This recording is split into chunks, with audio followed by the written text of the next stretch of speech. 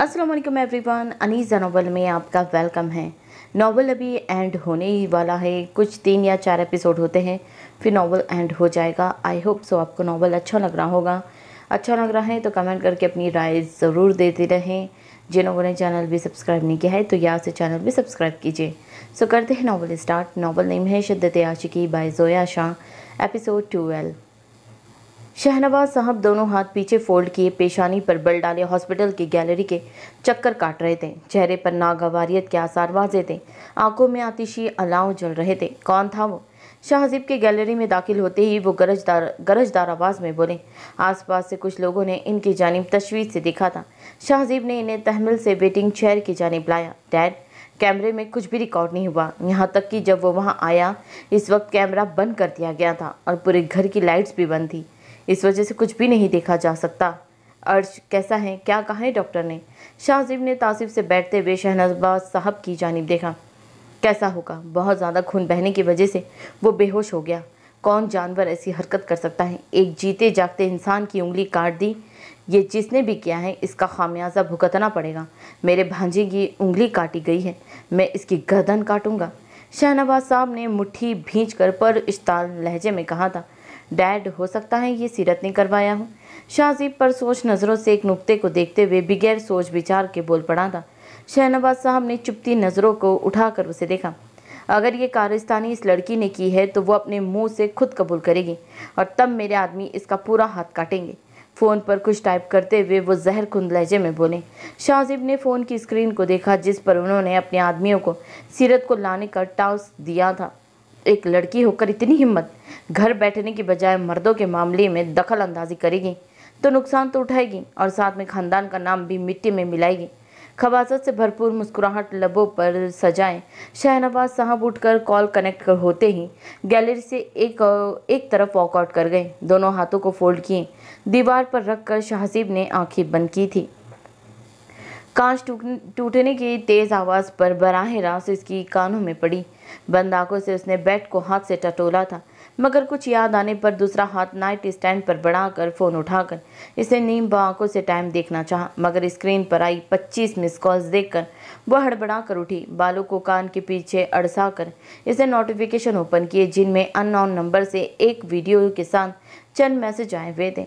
वो video open नहीं हो रही थी, मगर नीचे साफ़ अल्फाज में चंद मैसेज पढ़े जा सकते थे, जिनमें अर्श ने इसकी वीडियो लीक होने की खबर इसे दी थी। साथ ही वीडियो भी सेंड की थी। सीरत का हलक खुश्क होने लगा। इसका हाथ आ गया। वीडियो का क्लिक करना चाहा, मगर ओपन भी नहीं हो रही थी। मगर, ब्लर इमेज में लेबोरेटरी का मंजर देखा जा सकता था। ब्लैंकेट हटाते हुए वो जल्दी से इस नंबर पर कॉल मिलाने लगी। मगर सर्विस ना होने के बाद कॉल मुनकता हो रही थी। फ़ोन को बेड पर फेंक कर वो पैरों में वाइट स्लीपर डाले। वो तेज़ कदमों के साथ बालकनी में आई थी जहाँ एक गमला टूटा हुआ था। अस्करी क्या तु, ये तुम हो? आसपास देखकर उसने धीमे लहजे में कहा। अपने पीछे कदम उठने की आहट पर वो खबरदार हुई। बगैर अपनी जगह से एक इंच हरकत किए उसने नज़रें उठाई थी। कानों में कदम उठने की आहट बराबर सुनाई दे रही थी। एक कदम पीछे लेकर इसने फुर्ती से पलटकर पीछे से आने वाले के सीने पर किक मारी। फुल ब्लैक ड्रेस में मलबूस, वो पुर इसरार आदमी। अचानक हमले पर तवाजान बरकरार ना रखते हुए नीचे गिरा था। पीछे से किसी और आदमी ने सीरत को बाजुओं से दबोचा था।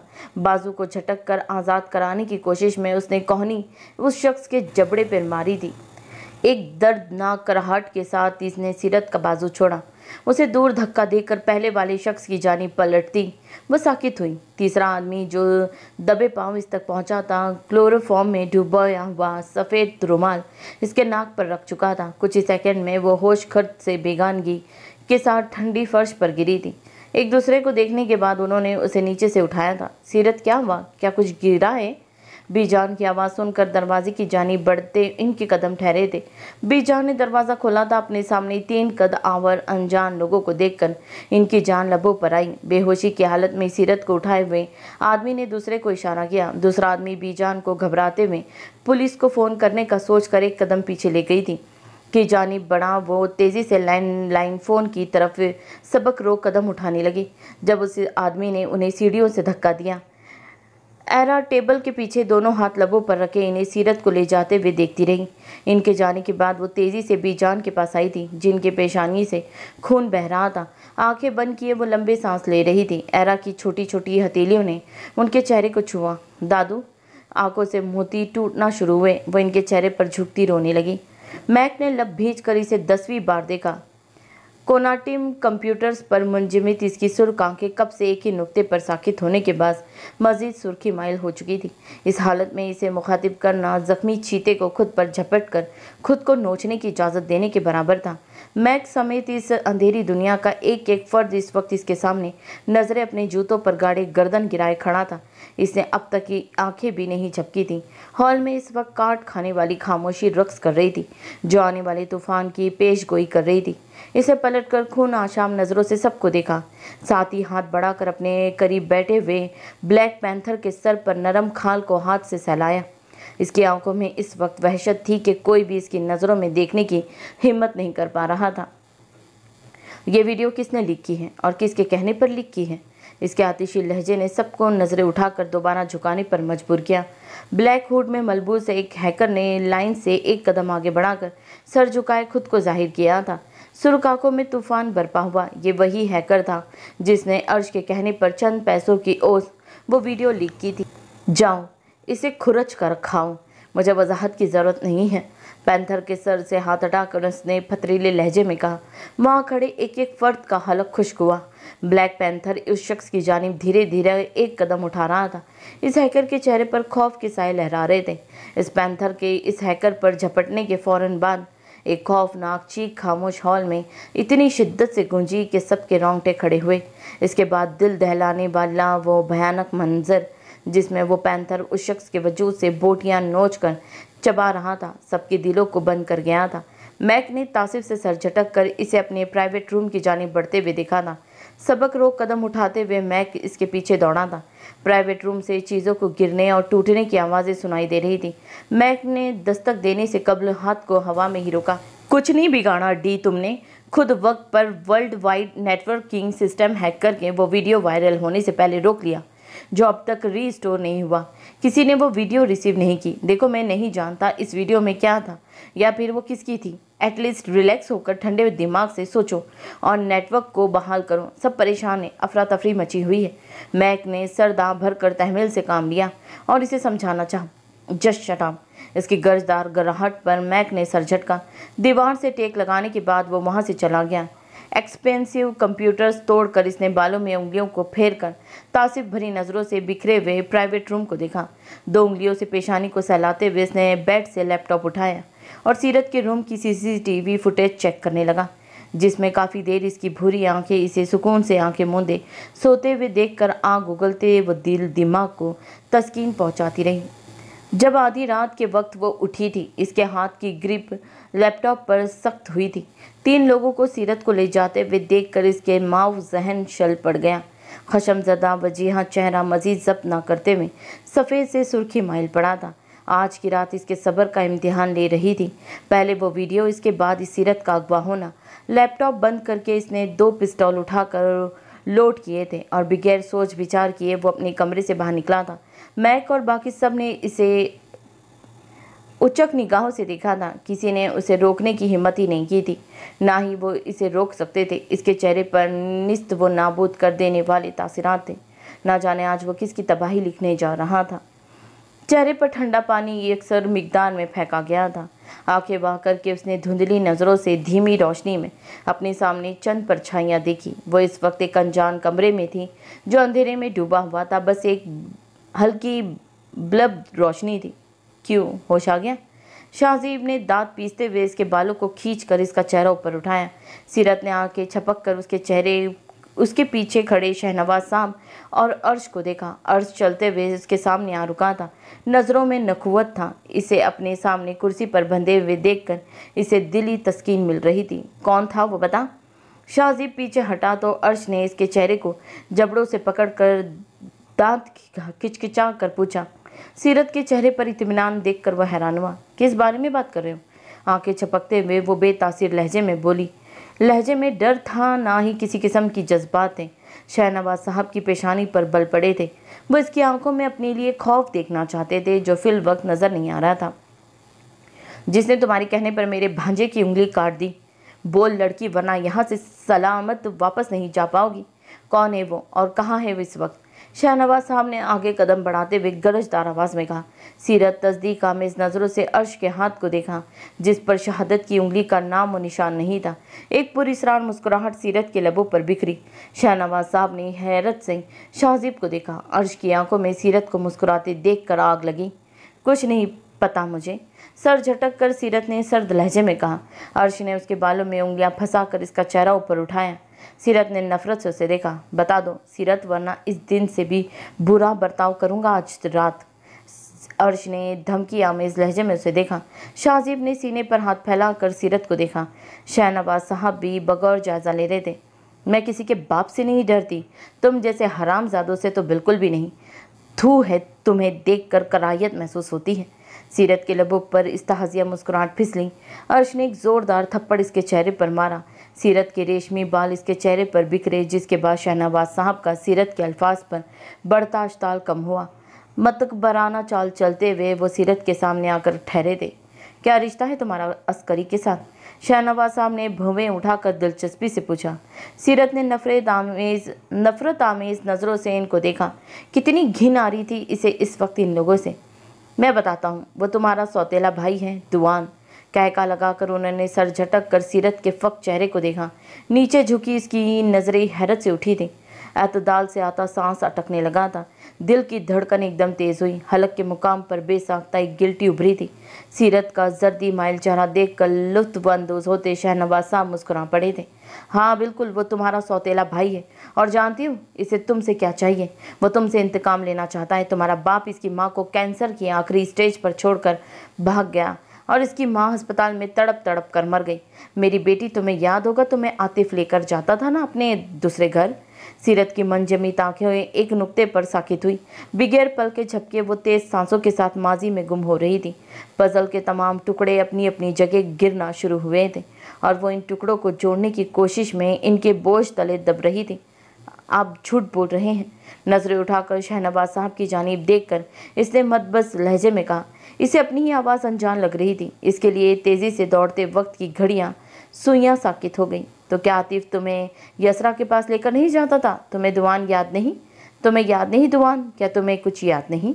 शहनवाज साहब की आवाज़ इसके कानों में सुइयों की तरह चुप रही थी। जहन माउफ होने लगा। आँखों के सामने माजी की किताब के औराक तेज़ी से आगे पीछे उलटने लगे, जिनकी कड़कड़ाहट ने इसके जहन पर अजीब कैफियत तारी की। वो दोनों हाथ कानों पर रख कर चीखना चाहती थी। शाहनवाज साहब इसकी बिगड़ती सूरत हाल देख कर दिल ज़ोर से मुस्कुरा रहे थे। और तुम्हारे बाप को भी दुआ ने मारा था, यानी तुम्हारे अस्करी साहब ने, जिसके साथ तुम खुश कपियाँ मनाते हुए फिरती हो। क्या इसने तुम्हें बताया नहीं कि वो दुआन है? नहीं। वो तुम्हें नहीं बताएगा क्योंकि वो तुमसे इंतकाम लेना चाहता है। वो अपनी असलियत कभी नहीं बताएगा और तुम इस पर भरोसा कर रही हो सीरत। अपने बाप के कातिल पर भरोसा कर रही हो। शहनवाज साहब ने अफसरदगी से सीरत की सिम झुक कर देख कर अफसरदगी से मुँह दबाकर हँसते हुए कहा, सीरत के जहन में झमाके हो रहे थे। चारों इतराफ से गोली चलने की आवाज़ों के साथ कई आवाज़ें सुनाई दे रही थी, जिनमें एंबुलेंस की सायरन, चीखने की आवाज़ें और पुलिस की वैन की सायरन की आवाज़ें थी। बस करो।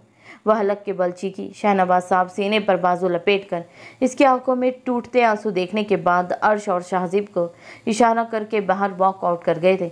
इन लोगों के बाहर आते ही रूम में दम घुटने वाली स्मोक रेल्स की गई थी। सीरत ने खांसते हुए कमरे में अजीब सा धुआँ फैलते हुए देखा, जो इसकी आँखों में जलन के साथ सांस रुकने का बाज बन रहा था। बेसब्री कदम उठाते हुए वो हॉस्पिटल की गैलरी में उलझन के साथ चल रहा था। बी जान आईसीयू में थी और इनकी हालत क्रिटिकल थी। अपने हाथ पर बारीक ठंडी उंगलियों को महसूस करके वो रुका। ऐरा ने डबडबी नज़रों से उसे देखा। आँसू इसकी आँखों में तैर रहे थे।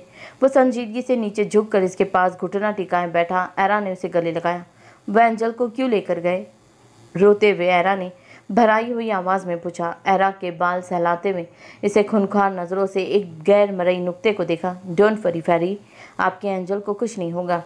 मुट्ठी से जब्त से भींच कर उसने एरा को तसल्ली दी, जो खौफ के बाद अभी तक काँप रही थी। एरा ने उसकी जानिब अपना छोटा सा हाथ बढ़ाया, प्रॉमिस करो मेरी एंजल को कुछ नहीं होगा और दादू को भी। इसे सपाट नज़रों से इसकी छोटी सी गुलाबी हथेली को देखा। वो पुर उम्मीद निगाहों से इसका वजीहा चेहरा देख रही थी। इसे सख्ती से लब भींच कर अपना हाथ इसकी हथेली पर रखकर सर को धीरे से हिलाया। आईसीयू का दरवाज़ा खुलकर बंद हुआ। इसे संजीदगी से डॉक्टर की जानब देखा। Don't worry mister Askari, patient is out of dangers. और खुशखबरी की बात है कि इन्हें होश भी आ गया है। आप इनसे मिल सकते हैं। इसके बाद सुकून का इंजेक्शन दिया जाएगा। डॉक्टर ने हल्की मुस्कान के साथ उसे देखकर प्रोफेशनल अंदाज में कहा और गैलरी की दूसरी जानी बढ़ गए। एरा का हाथ पकड़े वो अंदर आया था। बीजान ने नम व आँखें से देखा। एरा इसका हाथ छोड़कर बीजान से लिपट गई थी। बीजान ने उसके चेहरे को शफकत से चुमा। उसे सही सलामत देखकर इन्हें दीनी सुकून मिला। बीजान की जानब देखकर वो शर्मिंदगी से वो एक कदम पीछे उठा गया। इनकी कही गई बात अब तक नहीं भुला था वो। दुआन दरवाजे के हैंडल पर हाथ रख कर बाहर की जानी उठते उसके कदम साकित हुए। लब भीज कर उसने सख्ती से आँखें मीची थी। पेशानी की नीली नसें उभर आई थी। बीजान ने इसे हजन निगाहों से पीछे पलटते हुए देखा। इनसे शफकत की उम्मीद में इसने एक पल को नज़रें उठाई। कौन थे वो लोग? और क्यों लेकर गए हैं मेरी बच्ची को? तुमने करवाया है ये सब? क्या चाहते हो तुम मेरी बच्ची से मेरी नज़रों में? और किस हद तक गिरोगे तुम? एरा ने तासिफ से सर उठाकर उसे देखा था। जैसे उसने सीरत को अगवा करवाया था। मुट्ठी भीज कर उसने लंबा सांस हवा के सुपुर्द किया था। मैं नहीं जानता वो कौन थे। इसके जवाब पर बीजान का दिल गहरी खाई में डूबता चला गया।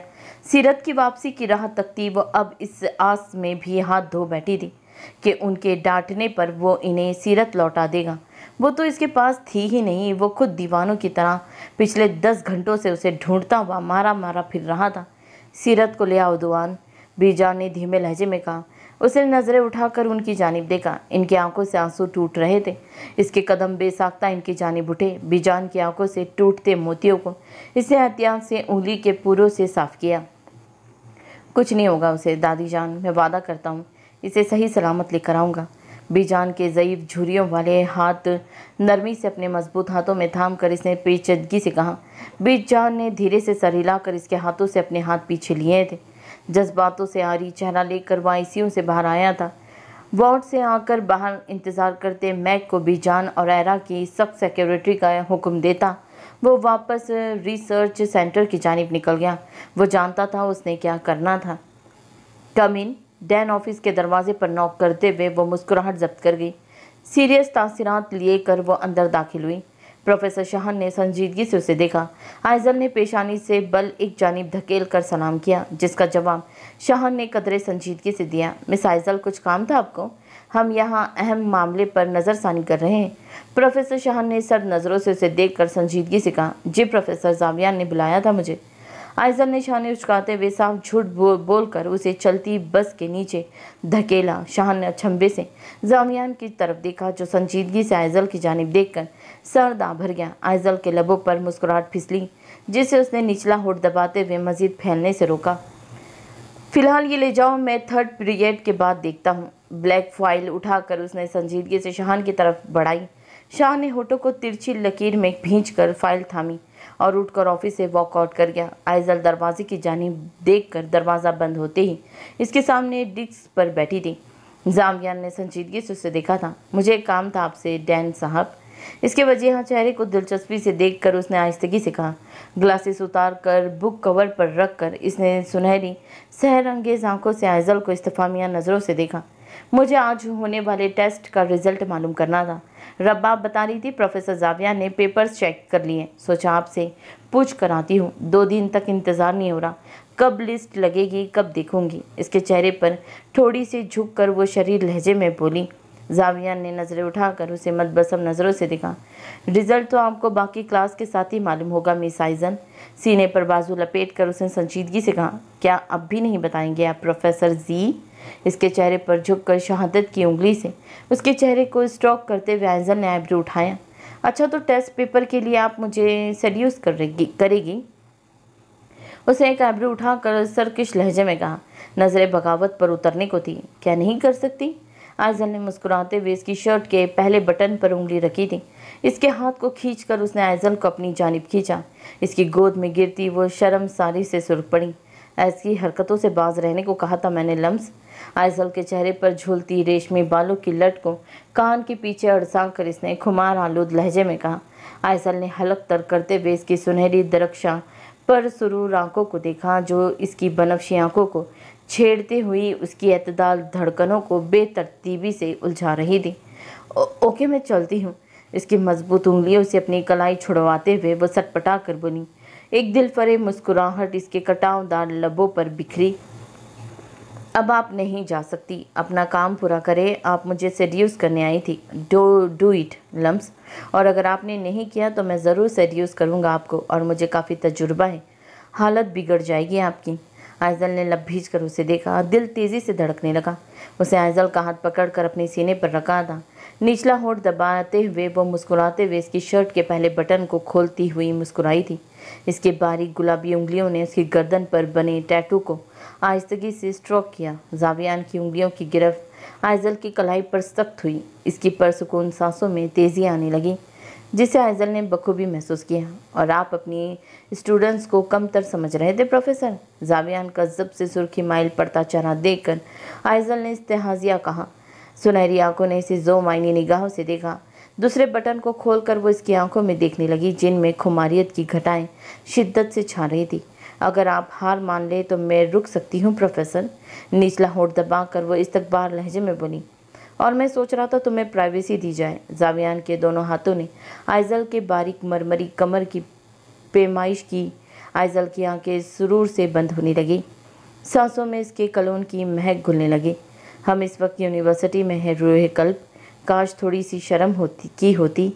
आइजल के निचले होठ को इसने अपनी रना अंगूठी से सहलाकर पर खुमार लहजे में उसके कान के करीब सरगोशी की। आइजल ने इसके अंगूठे को लबों में दबाया था। जावियान की सुनहरी आँखों में छाई घटाएँ इसके संभल से अपनी आखिरी हद पर पहुँच चुकी थी। आप सबसे बड़े बेशरम हैं, मैं नहीं। इसके हाथ को हटाते हुए वो जल्दी से इसकी गोद से उठी थी। जावियान ने हाथ बढ़ाकर उसकी कलाई पकड़ने की कोशिश की, मगर वो तेज़ कदमों के साथ दरवाजे की जानब बढ़ गई। पहले आप खुद पर कंट्रोल करें, प्रोफेसर। मेरा फोकस पेपर्स पर ही है। इसे तस्दीक आवेज लहजे में कहने के बाद वो ऑफ़िस के दरवाज़ा खोलकर बाहर निकल गई। लंबा सांस हवा के सुपुर्द करके इसने दो उंगलियों से पेशानी को सहलाया था। ये लड़की हर गुजरते दिन के साथ इसके जज्बातों की शिद्दत को बढ़ा रही थी। आज उसे कैद खाने में 36 घंटे हो चुके थे। नीम आँखों से वो ऊँची दीवार से अटैच विंडो से, अंदर फूटती सूरज की चमकदार किरणों को बेतासे निगाहों से देख रही थी। लबों के किनारों से बहता खून जम चुका था। चेहरे पर सुर्ख निशानात के साथ थकावट और तकलीफ़ के लामतानी ही तासीरात थे। मुसलसल दो दिन और एक रात के शदीद टॉर्चर के बाद कमज़ोरी के सबब इसका जिसम सारी तवानाई खो चुका था। सिहा चमक से आ रही आँखें एक नुक्ते पर जमी हुई थी। वो बेजान लग रही थी। पूरा बदन मुसलसल एक कुर्सी पर बंधे रहने की वजह से दर्द की शिद्दत से दुख रहा था, मगर उसे सिर्फ़ एक ही गम खा रहा था। ना इसे इन जख्मों का दर्द था, ना ही अपने लीक वीडियो से कोई गर्ज था। ये वो बात दिल व दिमाग में बिठा चुकी थी कि वो वीडियोस लीक हो चुकी थी। अब कुछ नहीं हो सकता था, कोई उसे बचाने नहीं आ सकता। क्योंकि यहाँ कोई इसका अज़ीज़ था ही नहीं। वो इस दुनिया में वापस नहीं जाना चाहती थी, जहाँ सब इसे तमस्कर भरी नज़रों से देखते, वो इसके किरदार पर उंगलियाँ उठाते। इसे सिर्फ़ एक ही गम खा रहा था और वो था आतिफ साहब की मौत का गम, इस वाहि शख्स की मौत का गम जो इसकी कुल कायनात था, जिसकी शफकत के दामन में वो वो बेटों की तरह बड़ी हुई थी, जो इसे बेटी से ज़्यादा बेटा कहने पर तरजीह देते थे, जिनकी मौत को एक्सीडेंट करार देकर इनका अंडर इन्वेस्टिगेशन गेट बंद करवा दिया गया था। और कातिल वो भी वो था जिस पर अभी इसके भरोसे की शुरुआत थी। यही बात इसके दिल को तेज़ धार आरे की तरह काट रही थी। वह आगे मीच कर अपने शफीक वालिद को सोचते हुए माजी की खूबसूरत यादों में गुम हो गई थी, जिनमें सिर्फ़ रंगीनियाँ थी, सिर्फ़ खिलखिलाहटें। पास्ट बारिश अभी भी शुरू हुई थी। गार्डन में वो दोनों बाजू फैलाए। आसमान की जानिब चेहरा किए बारिश में झूम रही थी। अपनी कमरे की विंडो के पर्दे हटाते हुए वो एक लम्हे को साकित हुआ था। उस लड़की के लंबे घने कमर से नीचे हवा के ज़ोर पर लहराते बाल और इसकी मासूमाना खिलखिलाहटें इसकी तमाम तर तवज्जा जज्ब कर रहे थे। लाइटर से सिगरेट जलाकर इसने फ़िल्टर लबों में दबाया था।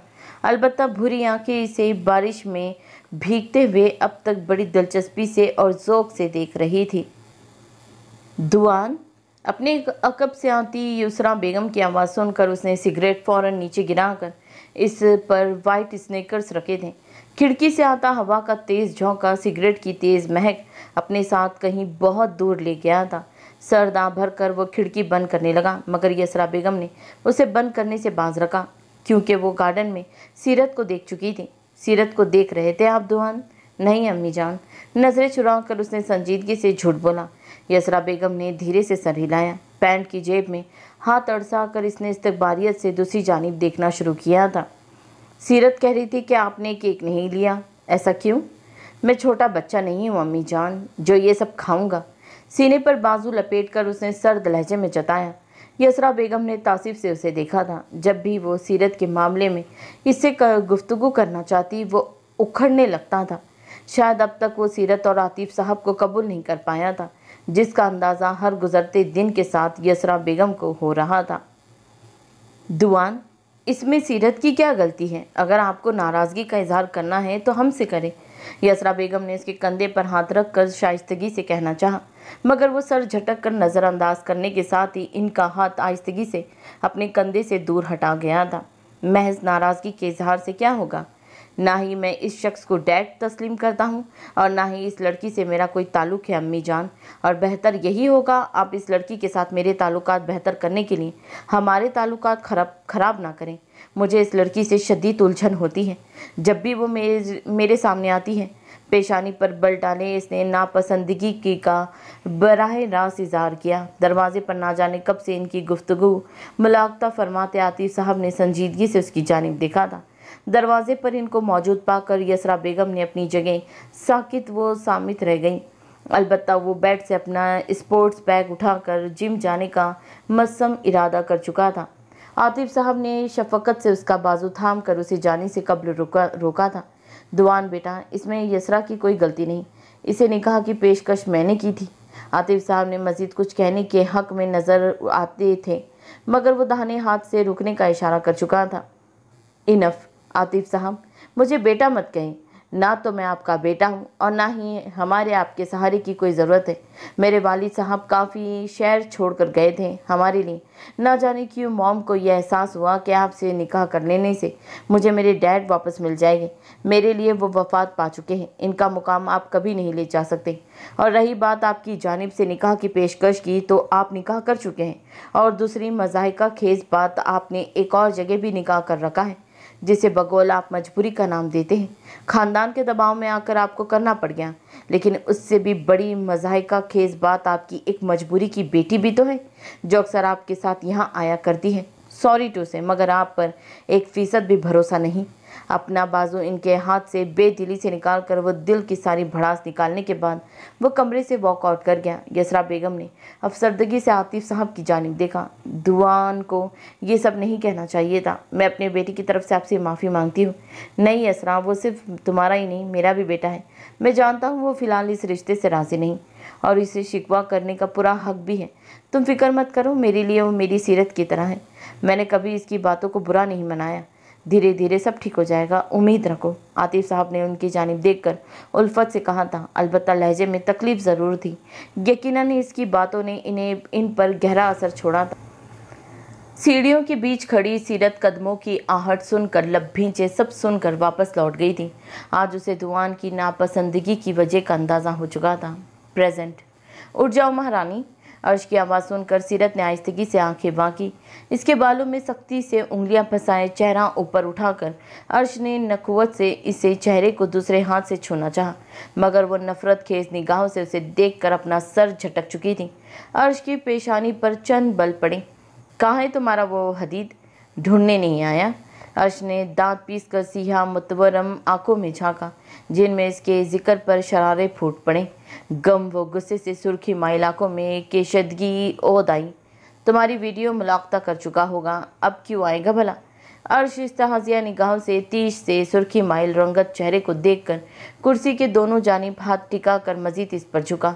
सीरत एक इंच भी हरकत नहीं की थी। अर्श के जहरीले अल्फाज इसके ज़ख्मी कल्ब पर बराबर असरअंदाज हो रहे थे, और यही तो वो चाहता था। वो तो सोच रहा होगा, तुम कभी वापस ना लौटो। कितना बड़ा एम्पायर का मालिक है वो। ऐसे लोगों के लिए रिपोर्टेशन से बढ़कर कुछ भी नहीं होता, और तुम्हारी जैसी लाखों लड़कियाँ रोज़ इसके आगे पीछे घूमती हैं। सीरत ने बेहद सख्ती से रस्सियों में बंधे हाथों की मुठ्ठियाँ भींचकर कुर्सी पर मारी थी। सिंहा आँखों में सर उठाते तूफानों को देखकर अर्श का जानदार कहका, इस वीरान चार दीवारों में गुंजा था। इतने तशद के बाद भी तुम्हारी ये अकड़ एक इंच भी कम नहीं हुई, सीरत रिजवी। ये गुरूर खाक में मिलाना चाहता हूँ। तुम पर तुम्हारी असल हैसियत वाजे करना चाहता हूँ। दो कौड़ी की औरत सीरत ने पुरस्तान निगाहों से उसे देखा। यकीनन अगर इसके हाथ आज़ाद होते तो शायद अब तक वो इसका पूर पूर तोड़ चुकी होती। अर्श की बातों से पूरे वजूद को लहू जैसे इसके चेहरे पर समेट आया था। पुराने जख्मों पर आज फिर से भरपूर नमक पाशी की गई थी। सिया, आँखें एक गैर मरई नुक्ते पर मंजमित थी। एहसास पर आज इख्तियार मुमकिन नहीं था। कभी जज्बातों को खुद पर गालिब ना आने देने वाली लड़की आज फिर से ओवर थिंकिंग कर रही थी। क्या वो मेरा माजी जानने के बाद किनारा कश हो जाएगा? मगर निकाह के किया था उसने मुझसे। लाम तानी ही सोचो कि गिरदाब में वो हर गुजरते लम्हे के साथ दस्ती चली जा रही थी। क्या हुआ? यही सोच रही हो कि तुम्हारी वीडियो को कितने अफराद ने मुलाकता फरमाया होगा। अर्श ने मायने के निगाहों से सुर्खी माइल चेहरे के लम्हे भर में बदलते तासरात देखे। तुम्हारे भाई ने भी देखी होगी। तुम्हारे सारे खानदान ने देखी होगी सीरत। सीरत के हाथ पैर फूल बर्फ़ हो गए थे। जावियान का ख्याल आते ही सिया आँखों से आँसू टूटकर सुरुख रुखसारों पर फिसले थे। साँसें उखड़ चुकी थी, गहरे सांस भरती वो यहाँ वहाँ बेचैनी से देखते हुए अपने फिगार कल्प को ओवर थिंकिंग के साथ मजीद काटती जा रही थी। कोई नहीं आएगा सीरत, और जानती हो तुम्हें यहाँ क्यों रखा गया है? तुम्हारा सौदा हो चुका है। हम बहुत जल्द तुम्हें मास्को के माफियाज को भेजने वाले हैं। जानती हो फिर क्या होगा? मास्को में तुम एक कॉल गर्ल बनोगी। अर्श ने सीरत के कान पर झुककर पिघला सीसा उसके कानों में घोल दिया। सीरत साकित वो सामित रह गई। अर्श ने मुस्कुराकर इसके बालों को सख्ती से जकड़ कर इसका चेहरा ऊपर उठाया। घनी पलकों की मुंडेरों पर झिलमिलाते कमकमों की रोशनी में कमी वाकई हो चुकी थी। वो बेजान शल हो चुकी थी। विकी, हाथ खोल दो इसके और इसका हुलिया दुरुस्त करो। कुछ ही देर में वो लोग आ जाएँगे। करीब खड़ी लड़की ने अव्वल तो अर्श की बात पर एतराज़ ज़ाहिर किया, क्योंकि वो इसे अगवा करने के दौरान ये देख और समझ चुकी थी, वो लड़की कुछ भी करने की सलाहियत रखती थी। बहरहाल उसने सीरत के हाथों की रस्सियाँ खोल दी थी। सिया आँखों की पुतलियाँ एक नुक्ते की निगरानी में शिद्दत से मलूस थी। सीरत ने अपनी सफ़ेद कलाइयों पर रस्सियों के सुर्ख निशानात की केशदगी देखें। जब निगाह कलाई पर बंदी ब्रेसलेट पर पड़ी, वो लड़की रस्सियाँ खोल कर कोने की जानी पेश रफत कर गई। सीरत ने लब भींच कर ब्रेसलेट को घुरा, जिस पर हुर्फ डी के करीब एक सिहा चिप से मध्यम सुर्ख रोशनी फूट रही थी। डी ये जीपीएस है। सीरत की रीढ़ की हड्डी में सर्दी की शदीद लहर दौड़ गई। खुश पड़ते हलक के साथ उसने कलाई पर दूसरा हाथ रखकर अंदर आते शाहजीब की निगाहों से ब्रेसलेट को छुपाया। डैड कहाँ है? आते वक्त उन्होंने इतला की थी कि मेरे यहाँ पहुँचने से कबल वह यहाँ मौजूद होंगे। तुम्हारी बात हुई डीलर से। अर्श सर हिलाकर शाहजीब की जानी पतवजा हो चुका था। सीरत ने उस लड़की की पैंट की जेब में पिस्तौल देखा तो एक पोशीदा मगर जानदार मुस्कुराहट ने खुश क्लबों का अहाता किया। फर्टन टेंसी जैसे सैकड़ों कंप्यूटर और दीवारों में नब्स स्क्रीन्स के सामने। सीहा ओपन कीबोर्ड पर इसकी कुवी खूबसूरत उंगलियाँ पिछले 20 घंटों से मसरूफ़ थी। बुरी दरख्शा आँखों में थकावट और तनाव के तासरात देखे जा सकते थे। पूरी दुनिया में जहाँ जहाँ वो वीडियो और इसके ज़राए मौजूद थे, इसने इनको जड़ से उखाड़ने के साथ ग्लोबल नेटवर्किंग सिस्टम को हैक किया था। और सबसे बड़ी बात, इसने सारा काम अकेले बड़ी सफ़ाई से किया था। पूरी दुनिया में नेटवर्क की अदम फरहमी के साथ अंडर राइट और एप्पल की एजेंसियों का कारोबार ठप हो चुका था। जिन जिन जराए पर वो वीडियो अभी रिसीव होनी थी, इसे इनको स्विच ऑफ़ कर दिया था। कई बड़ी एजेंसियों के कंप्यूटर सिस्टम क्रैश हो चुके थे। इस वक्त पूरी दुनिया का सबसे अहम मसला ग्लोबल नेटवर्किंग सिस्टम की बहाली थी, जो पिछले 20 घंटों से ना जाने किस रिसीव से हैक करके बंद कर दिया गया था। बड़े बड़े आईडी के इरादे इस मसले की तहकीक के लिए इजलास बुला चुके थे। रूस और अमेरिका के काबिल हैकर्स को एक पेज पर लाकर नेटवर्किंग सिस्टम बहाल करने की कोशिश पिछले कई घंटों से जारी थी, मगर सब बेसूद था। दो उंगलियों से पेशानी को मसल कर उसने गहरा सांस हवा के सुपुर्द किया। जहन मुसलसल 20 घंटों से कोर्स के साथ उलझने के बाद आखिरकार कामयाबी हासिल कर चुका था। ये आखिरी जराए थे जिनसे इसने वीडियो हटाकर कंप्यूटर की स्क्रीन की जानी देखा। एक परसुकून सांस लिया था सिर्फ़ 20 घंटों में। तकरीबन 15 अरब जराए से वो वीडियो हटाई गई थी। पचास हज़ार के करीब वेबसाइट्स और सिस्टम्स इसने तबाह व बर्बाद कर दिए थे, जिससे एजेंसियों को अरबों का नुकसान उठाना पड़ा था। ग्लोबल नेटवर्किंग सिस्टम पूरे एक्स घंटों बाद बहाल कर दिया गया था। खबरों और अखबार में सिर्फ़ यही खबरें शाये थीं। बड़ी बड़ी एजेंसियाँ इस हैकर को ट्रेस करने में नाकाम हो चुकी थीं। कई एक इरादों के अफसरान ने तकनीकी खराबी कहकर मामला रफा दफ़ा कर दिया और उसमें ही गनीमत जानी, जबकि कई एक एजेंसियाँ अभी तक अपने नुकसान की तलाफी के लिए एड़ी चोटी का ज़ोर लगा रही थी। आँखों को उंगलियों से मसलने के दौरान वो चेयर से उठा और वॉशरूम की जानी पेश कदमी की। सिंक पर झुककर इसने बर्फीले ठंडे पानी को हथेलियों पर, लकीर आँखों पर फेंका तो जलन और चुभन से भूरी आँखों में सुर्खी फैल गई।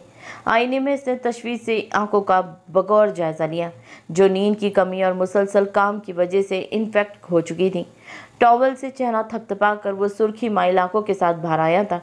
जे, कहाँ मर गए हो तुम? फ्रेंच में इसने चंद एक कलकबात से इसे नवाज़ डाला, जो कुछ ही सेकंड में बोतल की जीन की तरह उसके कमरे में हाजिर हो चुका था। सुर्खी माइल आँखों को देखकर वो हैरत से उसे देखता चला गया। तुम जानते हो तुम्हें क्या करना है?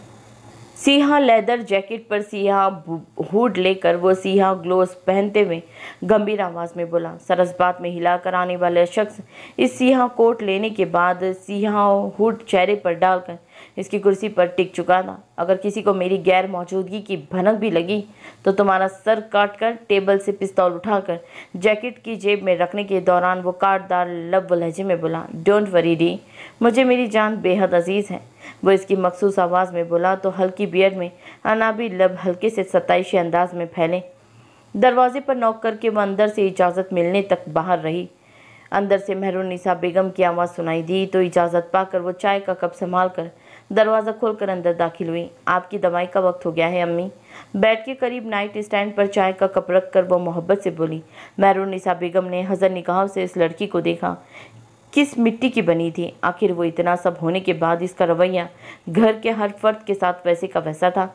जब शर्मिंदगी इनका दिल बेचैन होने लगा तो उन्होंने हाथ बढ़ाकर आइजल का हाथ थाम कर इसे अपने करीब बेड के किनारे पर बैठने का इशारा किया। इनके हुक्म की तामील करते हुए वो बेड के किनारे पर बैठी। बेटा, मुलाजमा ले आती, तुमने क्यों जहमत की? इसमें जहमत वाली कोई बात ही नहीं है, अम्मी जान। नज़रें उठाकर वो मुस्कुरा कर बोली महरुनिसा बेगम के दिल को ढेरों बेचैनी ने आन घिरा। आइजल अब भी मुझसे कोई नाराज़गी है बेटा? उसे उंगलियाँ बाहम पेबस करके चटकाते देखकर उन्होंने इस्तफसार किया। नहीं, अम्मी जान, दरअसल आज जावियान के साथ डॉक्टर के पास गई थी। कुछ टेस्ट हुए, जिनकी रिपोर्ट्स कुछ दिनों में आना बाकी है, इसीलिए परेशान हूँ। महरुनिसा बेगम ने हमदर्दी से उसे देखा। इसका मतलब वो सच में बीमार थी। अलबत्ता वो जावियान के नाम पर थोड़ी पेशमान ज़रूर हुई थी, जो आयजल से छुप नहीं पाया था। अम्मी क्या आपके और जावियान के बीच कोई गलत फहमी है? अगर ऐसा कुछ है तो आप इस गलत फहमी को दूर करने की कोशिश करें। वो आपसे बेहद मोहब्बत करते हैं। मुझे उम्मीद है सब ठीक हो जाएगा। आयजल की बात पर लम्हे भर के लिए नज़रसानी के बाद महरून बेगम ने धीरे से सर इस बात में हिलाया। मैं इनसे बात करूँ, अगर आप चाहें तो। आयजल की जानब देख कर वो बेसाख्ता मुस्कुरा गई। आयजल को पहली बार अपनाइत का एहसास हुआ था। एक ठंडी हवा का झोंका महसूस किया था उसने। नहीं बेटा, ये मेरी गलती है। मैं ठीक करने की कोशिश करूँगी। महरुनिसा बेगम ने शफकत से उसके चेहरे को छुआ।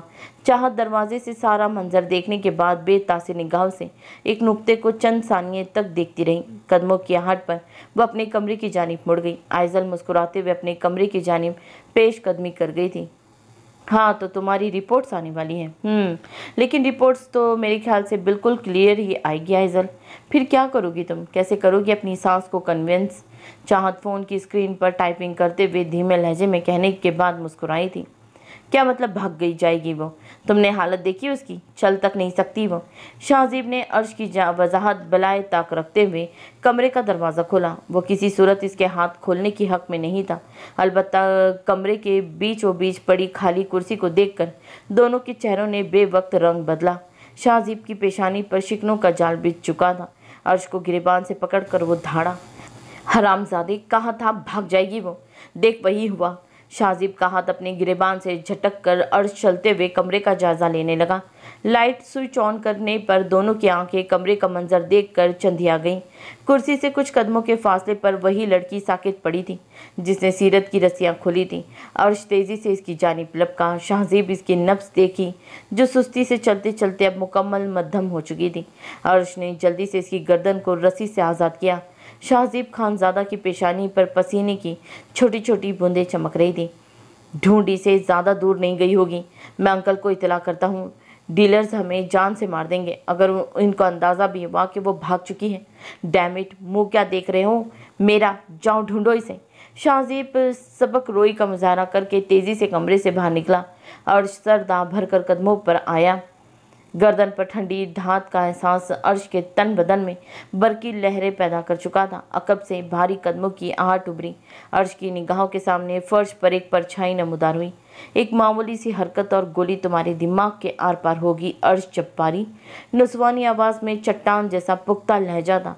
पिस्तौल के री होल्ड होने की आवाज़ कान के बेहद करीब सुनकर अर्श के हलक के मुकाम पर गिल्टी उभरी। अर्श के कपकपाते हाथ ने पैंट की पॉकेट से पिस्तौल निकालने की जद्दोजहद की। सिया आँखों ने शोक से सारी कार्रवाई मुलाकता करने के साथ उसकी कमर में पिस्तौल का ग्रिप पैनल बेदर्दी से मार दिया, जिसे करहाने के साथ वो कमर पर हाथ रख के ज़मीन बोस हुआ। पैंट की पॉकेट से पिस्तौल निकालकर इसके हाथ के बेहद करीब गिरा था, जिसे बरक रफ्तारी से उसने हाथ बढ़ाकर उठाना चाहा। मगर सिया एंकल बूट्स ने इसकी उंगलियों को बेदर्दी से कुचला था। मार डालेंगे। वो तुम्हें, अगर मुझे कुछ हुआ, याद रखना। अर्श ने दर्द की दर्द शिद्दत से दांत पी से, अफसोस कि मुझे मरते हुए तुम नहीं देख पाओगे। Your time is over sick bastard Seerat एक घुटना इसके करीब टिका कर बैठने के बाद, ठीक उसी तरह इसके बालों को खींच कर गर्राई।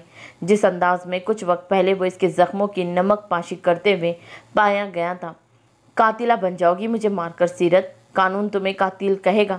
अर्श ने खौफ से लकड़ी की मानी चटकते हलक से बमुश्किल कहा, कौन सा कानून? वही कानून जो एक लड़की की इज़्ज़त के परखच्चे उड़ाने वालों को चंद सालों की कैद और जुर्माने के साथ दोबारा दुनिया में जीने के लिए छोड़ देता है। बगैर ये सोचे कि इस लड़की की बाकी ज़िंदगी तो दागदार हो चुकी है। सिर्फ़ मौत के मस्तक हो तुम जैसे हरामजादे। एक ज़ोरदार थप्पड़ अर्श के गाल को सुर्ख कर गया। तकहीर से अर्श का पूरा चेहरा सुर्खी माइल हुआ। बुरा लगा तुम्हें एक औरत से थप्पड़ खाकर हाँ? तजलील पर दर्द हुआ तुम्हें? सीरत ने झुक कर दाँत पीस कर इसके चेहरे पर दूसरा थप्पड़ रसीद किया। तुम्हें ये गोली अपने बाप के कातिल पर चलानी चाहिए थी, मगर अफसोस, तुम तो इसकी माशुका हो। अर्श ने करीब पड़े पिस्तौल की जानी हाथ बढ़ाते हुए लफ्ज़ों से उसे भटकाना चाहा। सीरत ने कदम बढ़ाकर पैर से पिस्तौल को दूर धकेला था।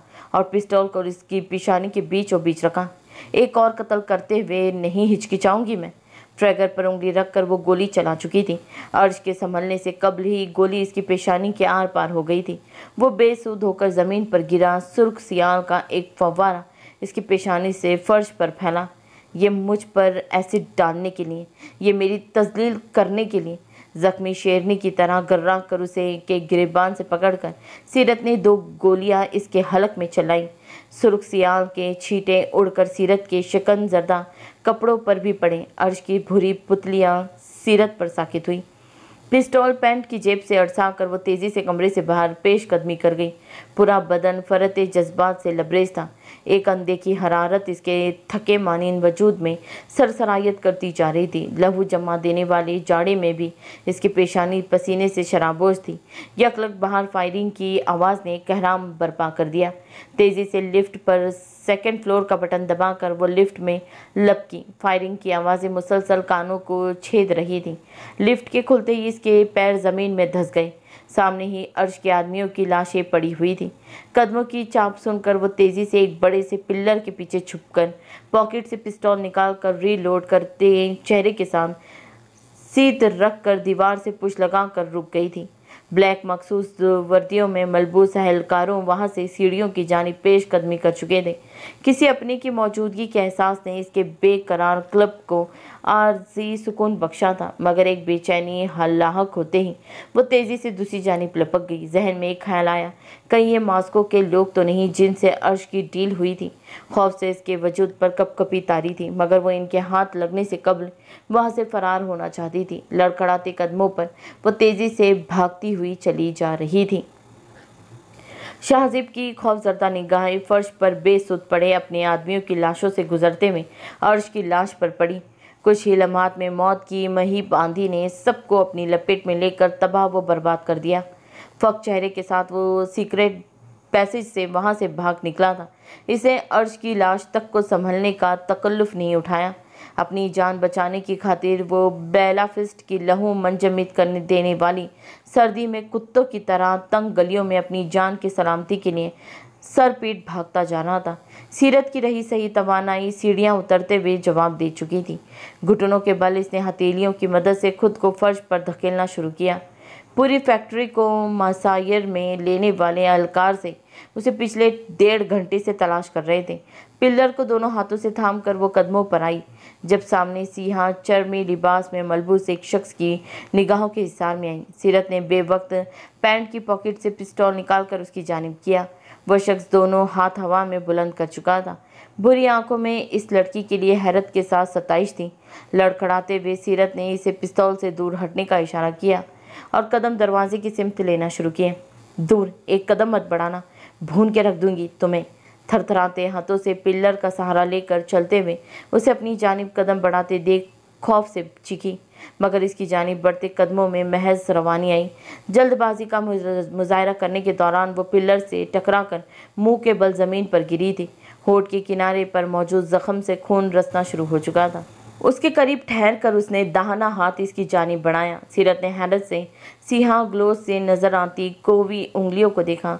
रेड स्नीकर से निगाहें उठाकर इसने सिहा चरमी लिबास में मलबूस इस कदर आवर देवता को घुरा था। दूर हटो, मुझसे। मुझे खरीदना चाहते हो तुम लोग। हरामजादो, तुम्हारा खून कर दूँगी मैं। इसका हाथ दूर झटक कर कहने के साथ, वो खून आशाम निगाहों से इसे घुरते हुए दांत पीस कर गरजी।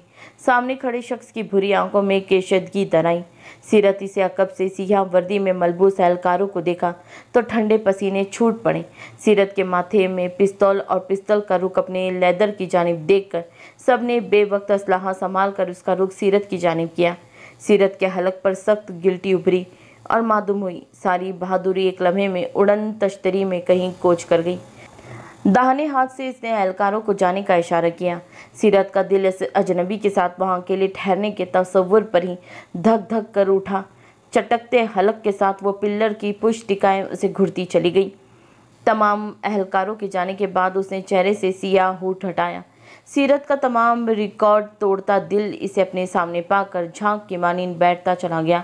सिया आँखों में शनासाई की गहरी चमक उभरने लगी। Come on, shoot me, Chandni. भारी गंभीर आवाज़ ने इसे सोचो के समंदर के किनारे तक खींचा। क्यों आए हो तुम? वो सर्द निगाहों से उसे देख कर बोली, इसकी जानब कदम बढ़ाते हुए वो एक लम्हे के लिए रुका। तो क्या अकेला छोड़ देता तुम्हें? सैर अंगेज भारी आवाज़ में केशदगी से सर उठाया। सीरत ने निगाहें उठाकर उसकी जानब बेतासिर निगाहों से देखा। मैंने मार दिया उसे, उस अर्श को। नज़र चुका कर वो धीमे लहजे में बोली, ठीक है, घर चलो। तहमील लहजे में कहकर उसने गहरा सांस हवा के सुपुर्द किया। मैं वापस नहीं जाऊँगी। क्यों नहीं जाऊँगी?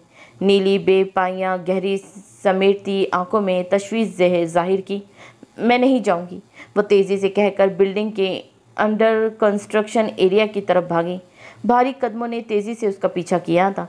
वह पिस्तौल एक जानिब फेंक कर उसकी जानिब मुड़कर कदम पीछे उड़ा चु, उठा चुकी थी। तेज़ हवाओं ने इसे अपनी आगोश में लिया था। कानों में तेज़ हवाओं के झकड़ों की सरगोशियाँ सुनाई पड़ने लगी। मगर आज उसने उसे आजमाने के लिए अपनी जान तक को दांव पर लगा दिया था। बेखौफ वो खतरा वो हवाओं के हिसार में थी। बेवकूफ़, दिमाग ख़राब है तुम्हारा। इसके हाथ को दाहिने हाथ में सख्ती से पकड़कर वो दबे लफ्ज़ों में गराया सीरत ने आँखें बाँध करके उसे घुरा, जो ज़िंदगी और मौत के बीच उसका हाथ सख्ती से थामे खड़ा था। छोड़ो मुझे, बदतमीज शख्स सुकून से मरने भी नहीं दोगे तब? बिला शाबान नहीं। मकरूती उंगलियों में सख्ती से अपनी उंगलियाँ फंसाएँ। वो संजीदगी से गोया हुआ। सीरत तीसरी मंजिल से ज़मीन की जानिब झूल रही थी। पैरों के नीचे ज़मीन का एक छोटा सा टुकड़ा था। और मुकम्मल तौर पर इसके रहम व करम पर थी। ये इंतकाम लेने या बेहतरीन मौका था। अगर वो लेना चाहता तो वो इस मौके पर इसका हाथ छोड़ सकता था। सीरत ने लब चबाते हुए गर्दन मोड़ कर नीचे देखा। तीन मंजिला इमारत से नीचे के दिल दहला देने वाले मनाजिर देखकर सीरत के पेट में हॉल उठने लगा। छोड़ो मुझे, मैं नहीं जाऊँगी तुम्हारे साथ वापस। पेशानी पर बल डाले वो सर्दी से दांत का चचा कर रह गई। दूसरे हाथ से इसकी कोहनी को आनी गिरफ्त में लेकर वो इसे अपनी सिमत खींच लाया। सीरत ने गहरा सांस लेकर इसे शाइस्ता निगाह से दिखा। अगर तुम्हारी जिद पूरी हो गई हो तो चलो, तुम्हारी बी जान को अस्पताल से लेना है। संजीदगी से कहकर वो इसकी कोहनी छोड़ते हुए बोला साथ ही कलाई पर बंदी, वॉच पर वक्त का तयन किया। बीजान का नाम सुनकर सीरत तेज़ी से इसके रास्ते में हाइल हुई। क्या मतलब है तुम्हारा? क्या हुआ था इनको? जवाब देने की बजाय उसने ग्राउंड फ्लोर की जानी पेश कदमी की। सीरत अपने जहन में गर्दिश करते तमाम सवाल झुटला चुकी थी। इसे परवाह दी तो सिर्फ़ बीजान की। एरा का ख्याल आया तो शर्मिंदगी से नज़रें झुक गईं। एरा वो कैसी है? क्या बीजान के साथ है वो? इसके लिए गाड़ी का फ्रंट सीट का गेट खोलते हुए वो रुका। सिया मतवरम आँखों में नमकीन पानी झिलमिला रहा था। वह आगे बढ़कर फिक्रमंदी से उसका हाथ पकड़ते हुए पूछ रही थी, ठीक है वो भी। मुख्तसर निगाह सफ़ेद हाथ पर डालकर इसने जवाब को मुख्तसर कर दिया। सीरत ने सर धीरे से इस बात में हिलाया। गाड़ी में बैठते हुए वो हिचकिचाई थी। अर्श की लाश का ख्याल आते ही इसकी निगाहों ने फैक्ट्री का रुक किया, जहाँ एक कान छेद देने वाले धमाके के साथ आग का एक मरगोला सा उड़ा था। लम्हे में सब धुआँ धुआँ हो चुका था। सिया ओवरकोट उतार कर बैक सीट पर उछालते हुए वो अर्श के कफ कोनियों तक मोड़ते हुए ड्राइविंग सीट पर आकर बर्जमान हुआ था। ऐसा क्यों किया तुमने? सीट बेल्ट लगाने के दौरान वो धीमे लहजे में लब कशाई हुई। क्या मतलब क्यों किया?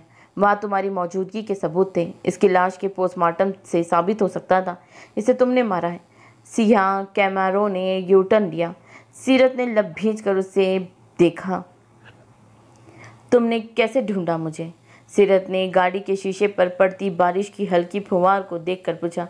तुम्हारी ब्रेसलेट में जीपीएस लगाया था मैंने। गैर शिफ्ट बदल कर इसने गहरा सांस लेकर अपनी गलती तस्लीम की। अलबत्ता सीरत ने भी इस वजह से दरियाफ्त नहीं की। दोनों हाथों को बाहम पेवस किए वो गाड़ी के शीशे से भीगती सड़क को देखती जा रही थी। शाहनवाज और इसका वो बेटा हाथ पर हाथ धरे नहीं बैठेंगे। सीरत के इंकशाफ पर भूरी आँखों में तशवीश उभरी।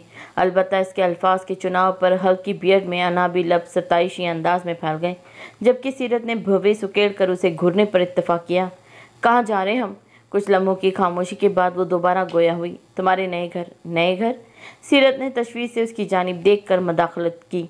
सड़क पर आमो दरफ होकरती गाड़ियों की निगरानी करती, भूरी आँखों ने यकलक सीरत को अपने हिसार में लिया।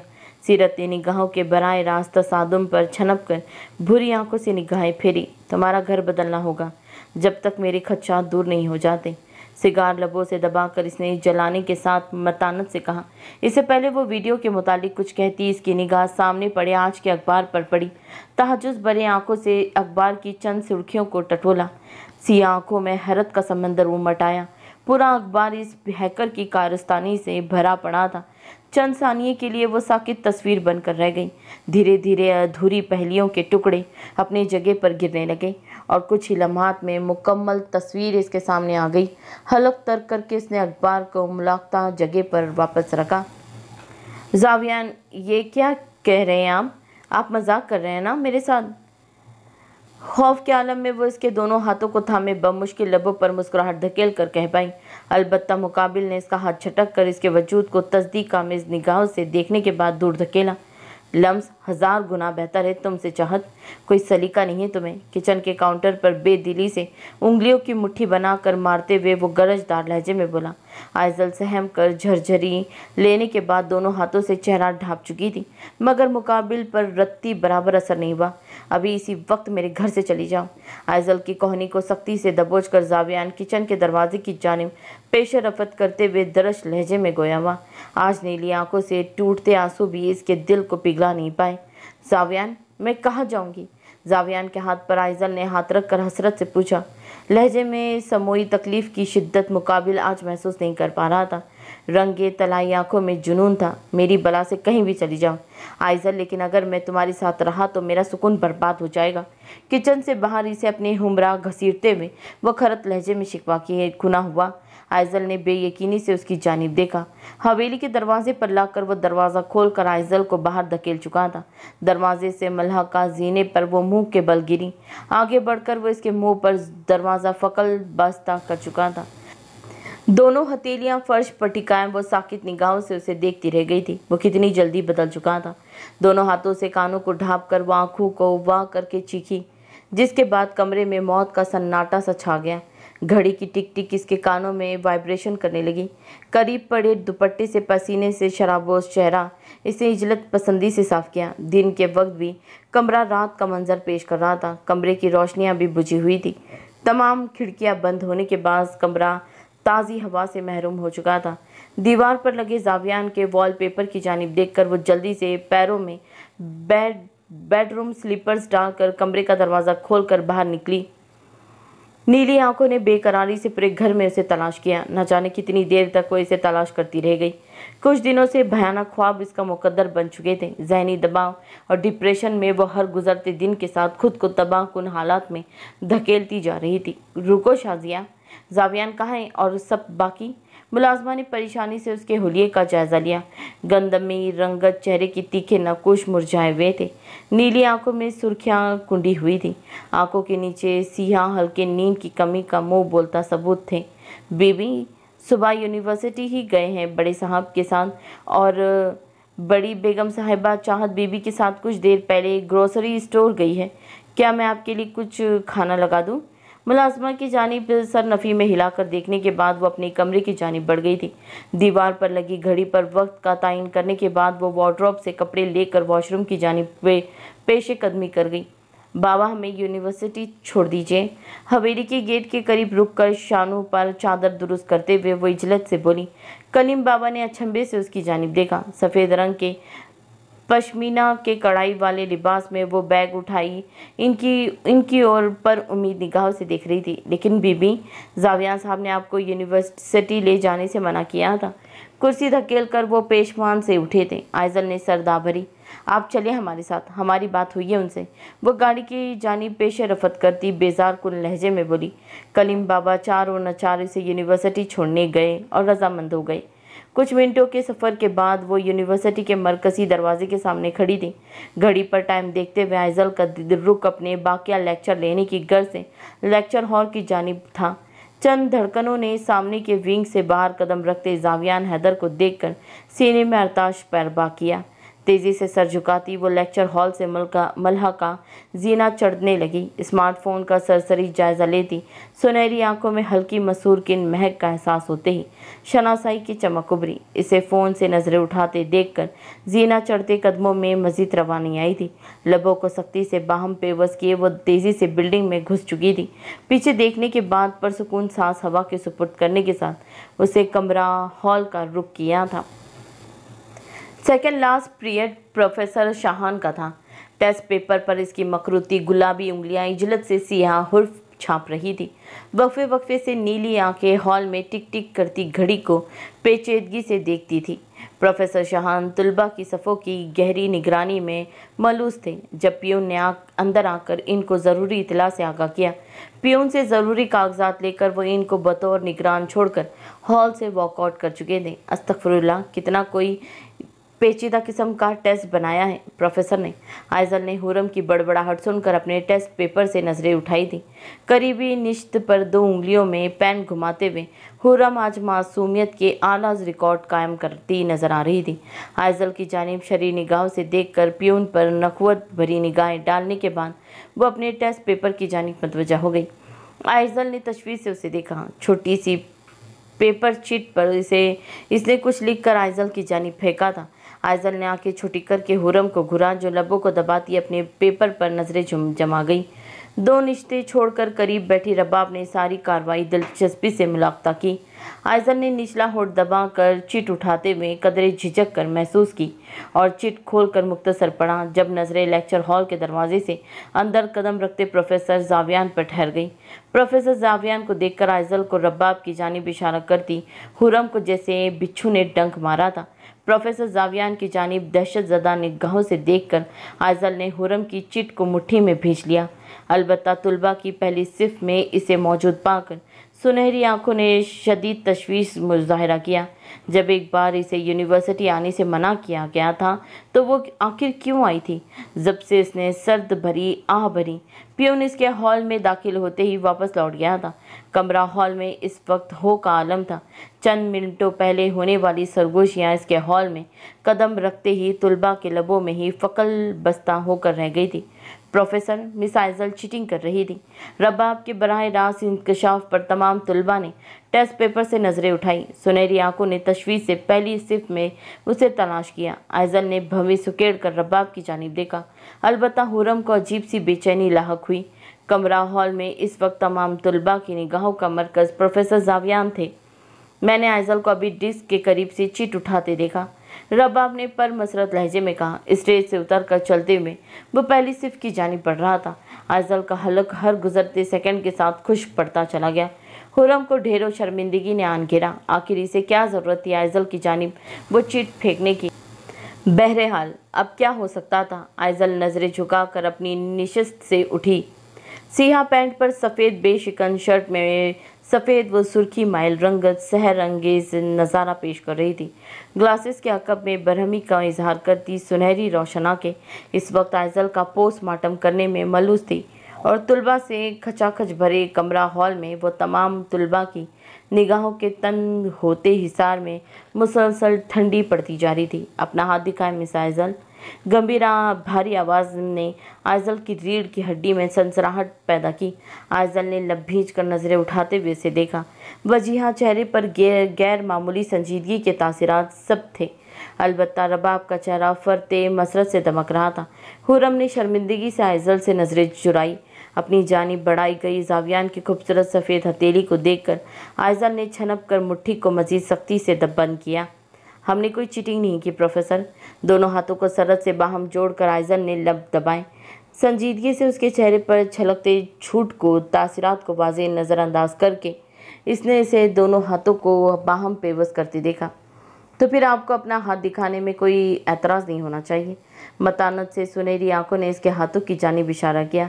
आइजल ने तशवीश से उसे देखा, यानी अपनी चहती इस असिस्टेंट की बात पर इसे यकीन था और बीवी झूठ बोल रही थी। हुरम कभी आइजल को तो कभी प्रोफेसर जावियान की जानब देखती थी।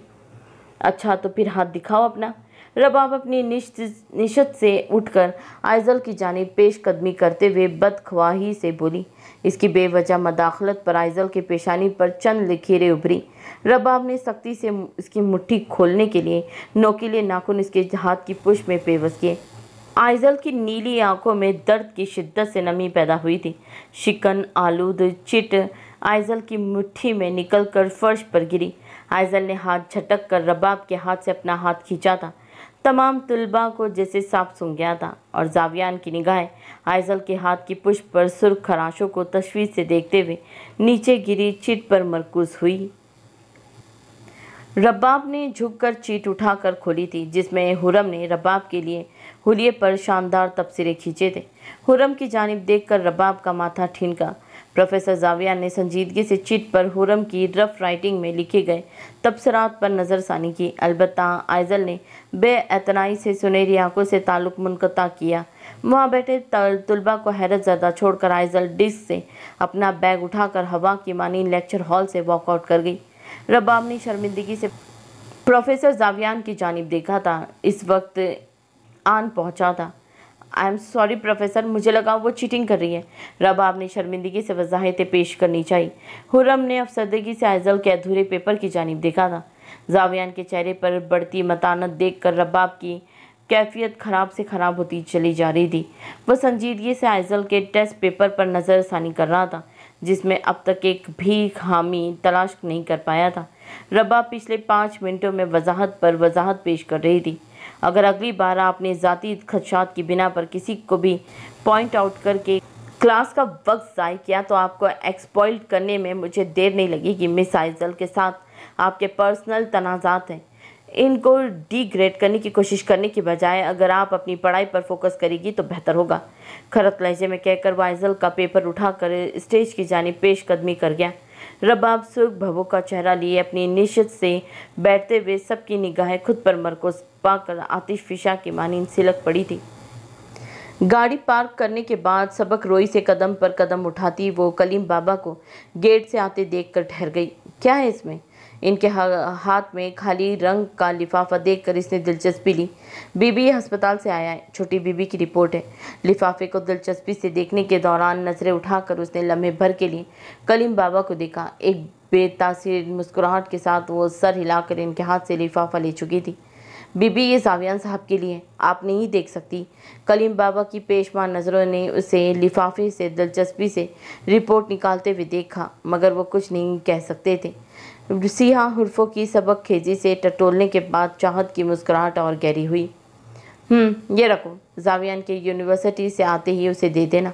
कलीम बाबा को शिशदर छोड़कर वो निचले लब को दबाकर मुस्कुराहट मजीद गहरी होने से कबल ही हवेली में दाखिल हुई। हैंड बैग से स्मार्टफ़ोन निकाल कर मुस्कुराते हुए इसने टाइपिंग के दौरान अपने कमरे का रुख किया। आपका ट्रांजैक्शन हो गया है डॉक्टर बेहद शुक्रिया। कॉल कनेक्ट होते ही वो पर मसरत लहजे में बोली थी। लास्ट पीरियड को सिरे से नज़रअंदाज करके वो यूनिवर्सिटी की कैंटीन में सबसे आखिरी टेबल पर बैठी हुई थी। नीली आँखें बेजारियत से लबरेज थी। स्मार्टफ़ोन पर मुसलसल स्क्रॉलिंग के दौरान इसने एक बार भी नज़र उठाकर कैंटीन में देखने की जहमत नहीं की थी। दाहने हाथ की पुष्प पर सुर्ख खराशें वाजे थी। करीबी टेबल्स पर अपने काम में मसरूफ तलबा प्रोफेसर जावियान को कैंटीन के दरवाजे से अंदर आते देख कर चौंके थे। स्थकानियत से फ़ोन का पोस्टमार्टम करती नीली आँखों ने गफ़ी से उसे अपनी जानी बढ़ती देखा।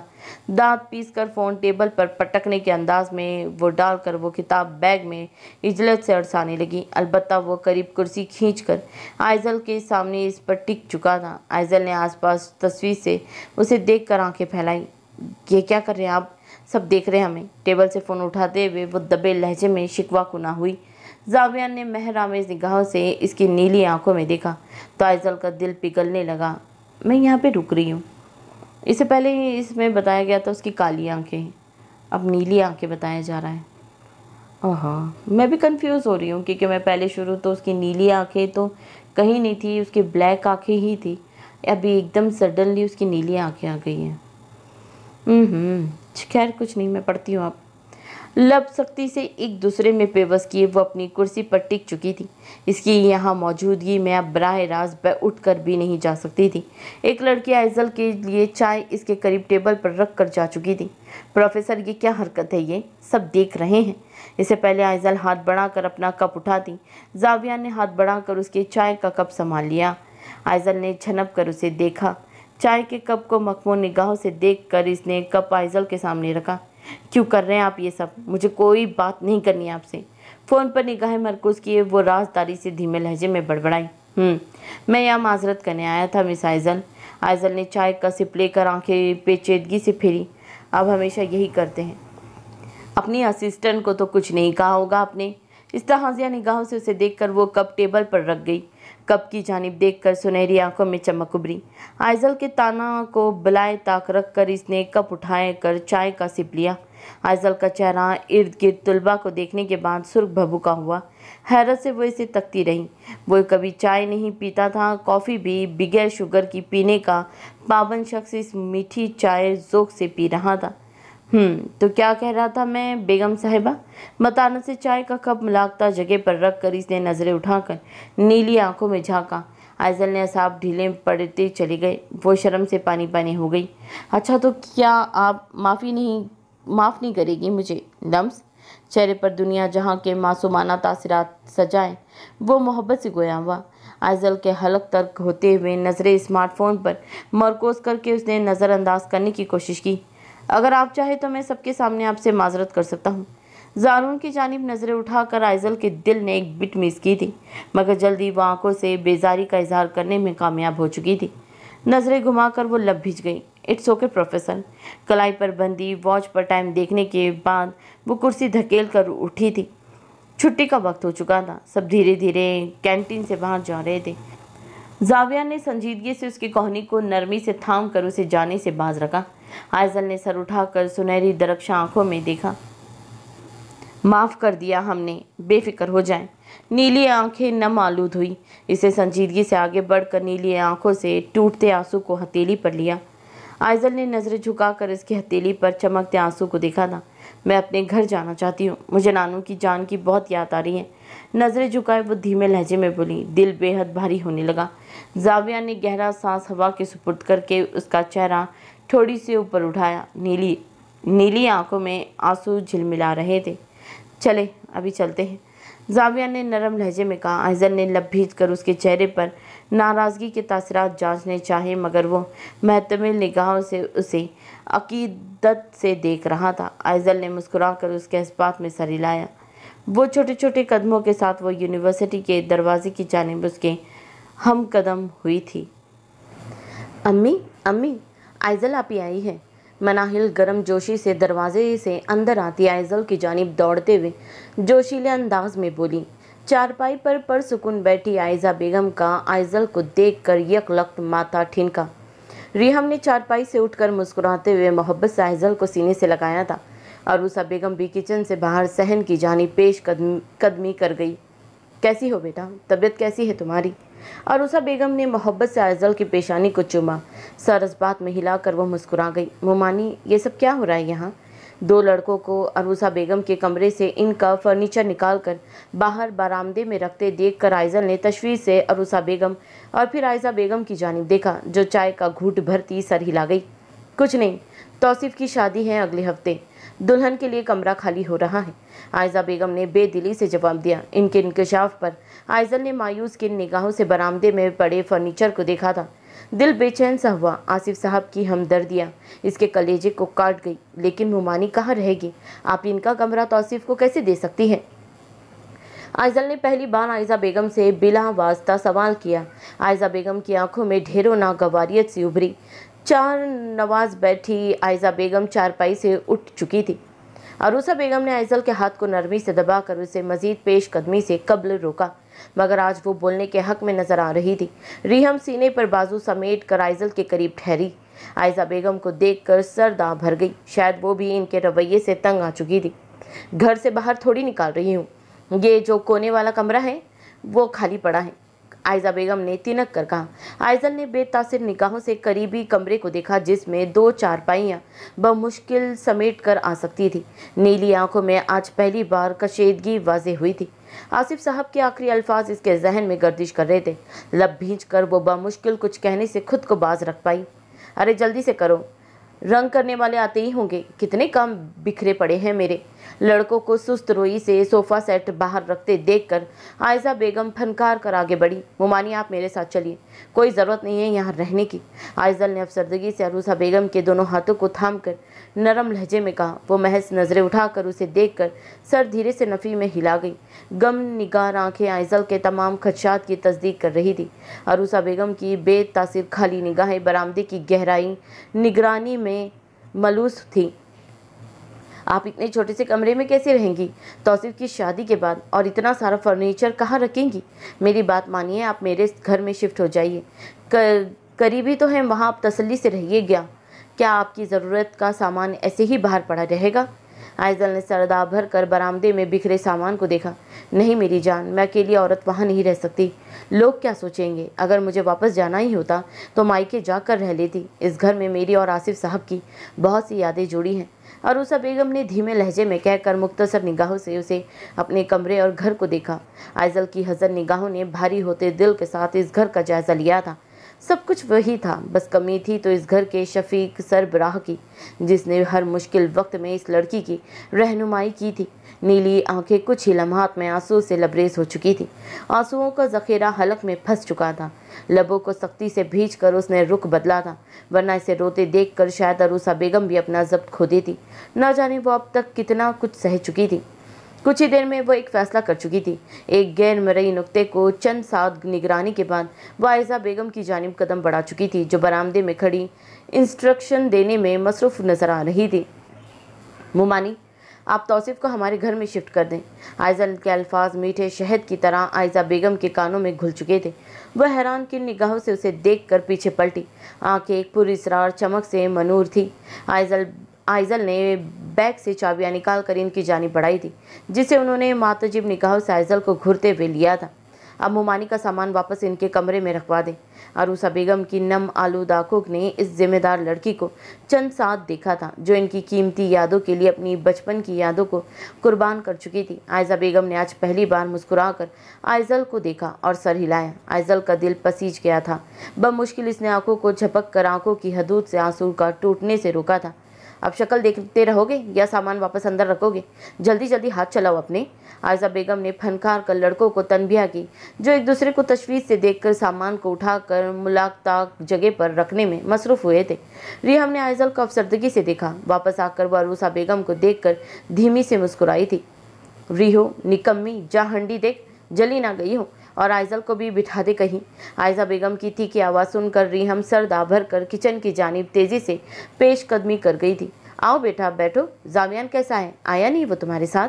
अरूसा बेगम ने मोहब्बत पाश नज़रों से उसे देखकर करीब चारपाई पर उसके हमरा बैठते हुए कहा, जी, अल्हम्दुलिल्लाह, सब ठीक है।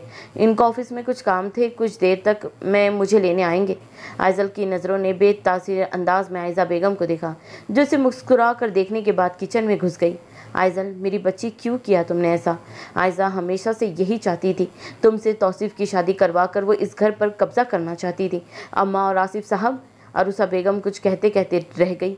इनकी आँखों में तकलीफ़ और आई जानती हूँ मुमानी, लेकिन मेरे रिश्तों से बढ़कर कुछ भी अहमियत नहीं रखता।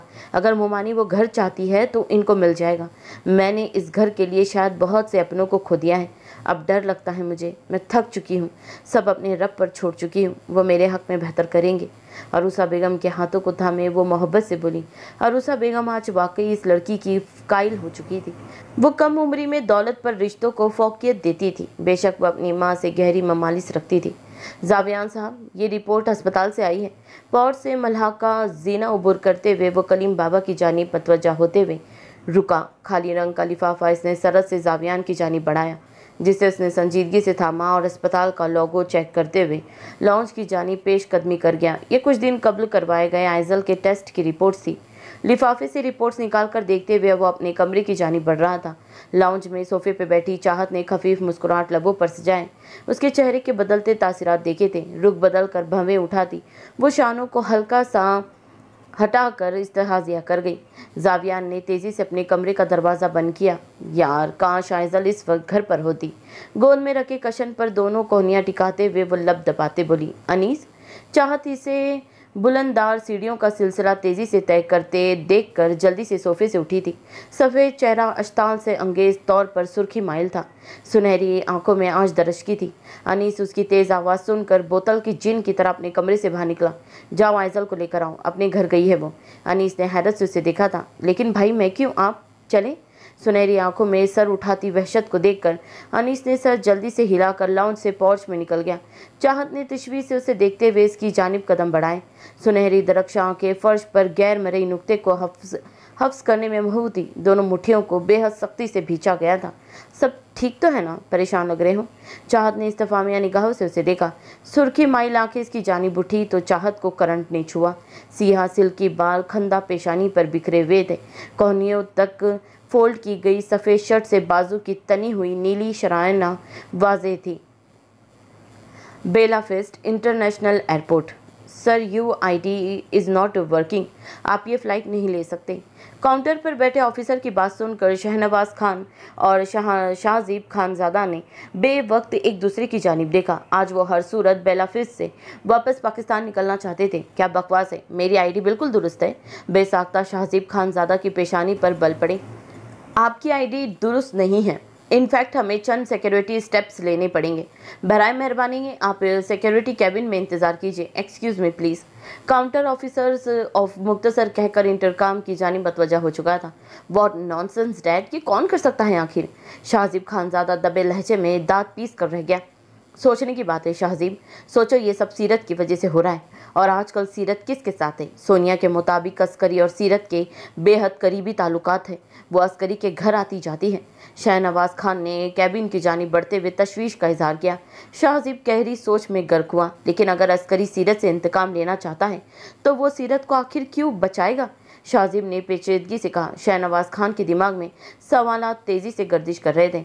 आपको क्या लगता है, जिन लोगों ने सीरत को बचाया वह अस्करी की जानब से भेजे गए थे? शाहजीब ने शहनवाज खान को गहरी सोच में गर्क देखकर संजीदगी से पूछा, मुझे तो कुछ और ही लगता है शाहजीब, कहानी बड़ी दिलचस्प होने वाली है। शहनवाज खान ने दाढ़ी खुजाते हुए खफीफ मुस्कुराहट ज़ाहिर की, क्या लगता है आपको, मुझे भी बताएँ? शाहजीब ने सोफे पर टिक कर भवें उठाई, फ़िलहाल एक काम करो स्टेट्स कमिश्नर साहब को खबर कर दो कि अर्श दो दिनों से लापता है। तफसीलात में ये ज़रूर बताना कि अर्श बरतानिया से यहाँ अस्करी कॉरपोरेशन के ऑफ़र पर आया था। शहादत की उंगली को अंगूठे तले दबाते हुए शहनवाज खान ने मुस्कुरा कर कहा शाहजीब खानजादा ने नासमझी से उनकी जानब देखकर फ़ोन निकालकर कमिश्नर का नंबर डायल किया, लेकिन हमारी फ़्लाइट का क्या होगा? फ़ोन कान से लगाए कॉल कनेक्ट होने का इंतज़ार करते शाहजीब ने नज़रें उठाई। तुम कुछ दिनों के बाद प्राइवेट फ़्लाइट से पाकिस्तान आ जाना बेहतर होगा। अगर हम अलग अलग सफ़र करें, सोफे से उठते हुए शहनवाज खान ने जेर लब कहा शाहजीब के चेहरे पर खौफ के साए लहरा गए। आप मुझे यहाँ अकेला कैसे छोड़ के जा सकते हैं? इस जंगली दरिंदे ने अर्श के घर जाकर उसकी उंगली काट दी। अगर उसने मुझे नुकसान पहुँचाने की कोशिश की तो अकेला क्या करूँगा मैं? कॉल मुनकता करके शाहजीब खानजादा ने उठते हुए गरजदार लहजे में शिकवा किया, एक तुम्हारी खातिर मैं अपने प्लान में रद्द बदल करके हक एक तुम्हारी खातिर मैं अपने प्लान में रद्दबदल करने की हक में नहीं हूँ, शाहजीब। अंडर कवर रहो कुछ दिन, शहनवाज खान। तीखे लब लहजे में कहकर इसके हाथ से फ़ोन लेकर कमिश्नर साहब का नंबर प्रेस करके कैबिन से बाहर निकल चुके थे। शाहजीब खान ज़्यादा की आँखों में बाजे खौफ देखा जा सकता था। बेलाफिस्ट सफ़ेद सिल्क के शब ख्वाबी के लिबास में बालों को कैचर में मुकीद करके वो मॉइस्चराइज़र लगाते हुए एरा के करीब आकर बैठी थी। नीम बाकों से वो शैलिंग को देख रही थी। क्या सोच रहा है मेरा छोटा पैकेट? सीरत ने झुककर इसकी पेशानी पर लबरक कर मोहब्बत से कहा। एरा ने पल के झपक कर सीरत को मुस्कुराती निगाहों से देखा और करवट बदल कर सीरत की जानब मतवजा हुई। हरी आँखों में शरारत थी। मैं सोच रही थी, अगर तुम मेरी मम्मा होती तो कितना मज़ा आता। एरा को मदबसम निगाहों से देखती सीरत मुस्कुरा गई। अच्छा तो अब मैं तुम्हें पसंद आ गई हूँ। सीरत ने भवे उठाकर दिलचस्पी से पूछा, कुछ दिनों पहले तो इसकी माँ की रट ही ख़त्म नहीं हो रही थी, लेकिन अब धीरे धीरे वो दोनों एक दूसरे से मानूस हो चुकी थी। सीरत की जानब देख कर एरा ने मासूमियत से सर हिलाया, लेकिन तुम्हारा दोस्त तुमसे ज़्यादा अच्छा लगता है मुझको। एरा के अल्फाज सुनकर सीरत ने एरा को घूर कर भमे सुकेड़ी थी अच्छा तो तुम्हें वो ज़्यादा पसंद है, ऐसा क्या है उसमें भला? आँखें घुमा कर कशन दुरुस्त करती सीरत बड़बड़ाई बिगड़ ना रह सकी। वो बहुत हैंडसम है। इनकी बियर्ड बहुत अच्छी है और आँखें भी। ऐरा ने दोनों हाथों से लबों को ढांप कर कहा, सीरत ने तीखी नज़रों से ऐरा को घुरी से नवाजा था। अलबत्ता ऐरा के अल्फाज सीरत के लबों पर एक खुफिया मुस्कुराहट लाने में कामयाब हुए थे। अच्छा बस, बहुत तारीफ़ हो गई उसकी। अब सो जाओ, सुबह स्कूल जाना है राइट ऐरा ने स्कूल के नाम सुनकर बुरा समूह बनाते हुए आँखें मीची थी। डोर बेल बजने की आवाज़ सुनकर ऐरा को सुलाने के दौरान फ़ोन पर जावियान के मैसेज देखती सीरत ने तशवीर से दीवार पर निप्स घड़ी की जानब देखा। रात क्या ग्यारह बज रहे थे? इस वक्त कौन हो सकता था? फ़ोन नाइट स्टैंड पर रखने के बाद खुद को माकूल हुलिये में लाकर वो पैरों में बेडरूम स्लीपर डालने के बाद दर... दरवाजे की जानी पेशे रफत कर गई। बैक होल से देखने के बाद इसने महतमिल चेहरे के साथ दरवाज़ा खोला। नेवी ब्लेयर्स और नेवी चैनल्स के नीचे लाइट ब्लू शर्ट और ब्लू प्रिंट पॉकेट स्केयर के साथ सिया ड्रेस शूज़ में वो वजाहत का देवता अपनी तमाम तर रनाइयों के साथ उसके सामने खड़ा था। नफीस हल्की बियड में अनाबी लब सख्ती से एक दूसरे में बाहम पियोज थे। चेहरे पर गैर मामूली संजीदगी के तासरात सब थे। सर्दी की शिद्दत से सीरत ने झरझरी लेकर इसके लिए सहूलत से अंदर आने का रास्ता छोड़ा। नहीं, कुछ देर में मेरी मास्को की फ़्लाइट है। ये रखो। सीरत ने अपार्टमेंट के कागजात लेते हुए जवाबन तशवीश से उसे देखा। ये मैं बाद में भी दे सक, ये बाद में भी दे सकते थे तुम? खैर, अंदर ही नहीं आओगे? कागजात थाम कर वो चंद साथ रुक कर बोली। भूरी रोशन आँखों ने शौक से सी आँखों में झांका। हवा के ठंडे झोंके की थपथपाहट पाकर सीरत ने सख्ती से लब कुछ ले। दूसरी बार इसे अंदर बुलाना इसकी अन्ना की तोहिन थी, लिहाजा वो चुप खड़ी रही। बारीक लिबास में वो धीरे धीरे काँप रही थी। वो पैंट की जेब से हाथ निकाल कर इसके हमरा अंदर दाखिल हो गया। कुछ लोगे तुम? मैं अपनी चाय बना रही थी। सीरत ने भवे उठाकर पूछा सर धीरे से इस बात में हिलाकर इसने दावत कबूल की। वह संजीदगी से, इसके हम कदम हुआ। सीरत आज इसे ना जाने क्यों इनकार नहीं कर पाई थी। आज इसकी मौजूदगी में वो मुख्तलिफ़ थी। अचानक मास्को क्यों जा रहे हो? सब खैरियत है? शेल्फ से ब्लैक कॉफ़ी का सामान निकालते हुए वो इसकी जानी पलट कर बोली। काउंटर के करीब हाथ टिकाते हुए वो मतानत से उसकी जानी पलटा। भूरी दरक्षा आँखों ने जौक से इसके सरापे का जायज़ा लिया। सफ़ेद सिल्क के शब ख्वाबी के लिबास में वह सहरा घिरी जाजिबियत रखती थी। मास्को में दो दिन बाद शेल्टर्स की डोनेशन के लिए एक अहम इजलास है। हर साल मेरी शमूलियत यकीनी होती है। सीरत इसकी भारी आवाज़ पर सर धीरे से इस बात में हिलाकर कॉफ़ी ग्राइंडर की जानी मतवजा हुई। खिड़की से अंदर फैलती चाँद की रोशनी में हल्की हवा के दोष पर सिल्की बालों की चंद लटे फिसल कर सीरत के चेहरे पर आई थी। जिनको इजलत से कान के पीछे अड़साने के बाद वो पीछे मुड़ी। भूरी आँखों में बे इंतहा शागियफ थी। या खुदा, ये ऐसे क्यों देख रहा है मुझे? सीरत ने छनप कर निगाहों का ताल्लुक मुनकता करते हुए सोचा, वो बहुत हैंडसम है। इनकी बियड बहुत अच्छी है और आँखें भी। ऐरा की बात याद आते ही वो गहरी मुस्कुराई। इसकी लो देती निगाहों के तंग होते हिसार में वो निचला होठ दबाकर बमुश्किल अपनी मुस्कुराहट का गला घोटने में कामयाब हुई थी। तोबा, ये क्या सोच रही हूँ मैं? मग में कॉफ़ी उडेलते हुए वो खज्जल होकर खुद को कोस कर रह गई। अपने पीछे कदमों की भारी आहट सुनकर सीरत ने निगाहें उठाई। बॉडी वार्ड्स के हामिल कलून की मसूर की नखत ने सीरत को हिसार में लिया। सीरत, इसके जज्बात से लबरेज भारी आवाज़ सीरत की रीढ़ की हड्डी को सनसना गई। सीरत ने पीछे पलटकर इसे पेश, वो पेश निगाहों से देखा। भूरी तजबर आँखों ने सफ़ेद गर्दन पर चमकते हार्ट शेप पेंडेंट के बीच सख्त गिल्टी को उभर कर मादुम होते देखा। मुनासिब फासला चंद ही कदमों में समेट चुका था।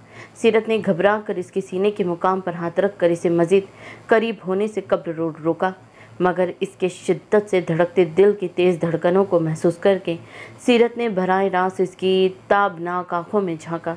इसके हाथ पर अपना हाथ रख कर इस, इसने दूस, दूसरे हाथ से इसकी कोहनी से थाम कर बेहद करीब खींचा। सीरत की महतमिल धड़कनें तूल पकड़ चुकी थी। इसके सफ़ेद मोमी हाथ को लबों के करीब लाकर इसने गहरा सांस लिया था। ये वही महक थी जो इसे सबसे ज़्यादा पसंद थी। सीरत ने सख्ती से लबों को भींच कर उसे देखा। रज़ा, हाथ छोड़ो। बुरी आँखों में उतरते खुमार को देखकर सीरत ने हलक तर कहा, किया? अलबत्ता लहजे में वो सख्ती नहीं ला पाई थी, जिसकी जद्दोजहद सिया आँखों ने की थी। गरम दहकती हथेली के नीचे। सर्द हाथ ने आज़ादी हासिल करनी चाहिए। शुरुआत किसने की थी, सीरत? इसने सीरत के कान में खुमार आलूद आवाज़ में भारी सरगोशी की। जज्बात की आँच से लबरेज, भारी भोजल सरगोशी सुनकर सीरत का हल खुश पड़ा। दूसरे हाथ से इसने मतानत से सीरत का चेहरा थोड़ी से ऊपर उठाया। सियाह आँखों से भूरी खुमार आलूद आँखों को बराए रास्त टकराव हुआ। हमारे बीच ऐसा कुछ नहीं है। तुम ये सब नहीं कर सकते। सीरत ने तांबा भूरी आँखों में चाँद का खूबसूरत अक्स देखकर गफ़ी से कहा, हमारे बीच इतने यकीन से तुम मेरे दिल की ज़िम्मेदारी कैसे ले सकती हो? मेरे दिल में तो बहुत कुछ हो सकता है तुम्हारे लिए। जब तक तुम करीब से जानने की कोशिश ही नहीं करोगी, तुम्हें अंदाज़ा कैसे होगा? इसके गहरे अल्फाज के शहर में सीरत चंद सानिए के लिए साकित हो गई। क्या है तुम्हारे दिल में? मोहब्बत करते हो मुझसे? सीरत के बरह राज सवाल पर वो एक लम्हे के लिए साकित हुआ। जवाब तो बहरे हाल इसके पास भी नहीं था। इन सवालात का जो इसका दिल इससे हर रोज़ पूछता था, कभी किया नहीं। इस एहसास से वाकफियत नहीं है मेरी।